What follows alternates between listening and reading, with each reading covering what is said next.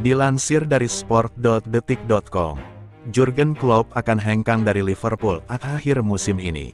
Menilik calon-calon sejauh ini, yang relatif minim pengalaman melatih top besar, ada anggapan mustahil mengikuti jejak Klopp.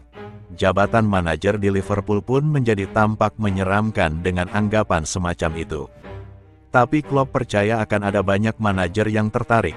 Jika mengetahui bagaimana klub Liverpool bekerja, Klopp pun berpesan ke klub dan calon penerusnya untuk saling percaya.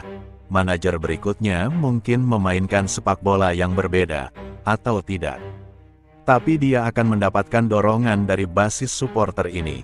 Rasanya saya datang di momen tepat karena klub agak kehilangan arah sedikit dan mungkin saya yang membantu semua orang memahami lagi betapa pentingnya kepercayaan dan dukungan itu.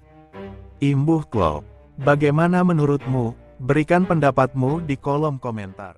Terima kasih sudah menonton video ini. Jangan lupa subscribe channel ini, beri like jika kamu suka dengan video ini, berikan tanggapanmu di kolom komentar, dan bagikan video ini ke teman-temanmu, serta jangan lupa tonton video kami yang lainnya ya. Dukung terus kami untuk berkembang dan beri kami masukan untuk pengembangan konten kami.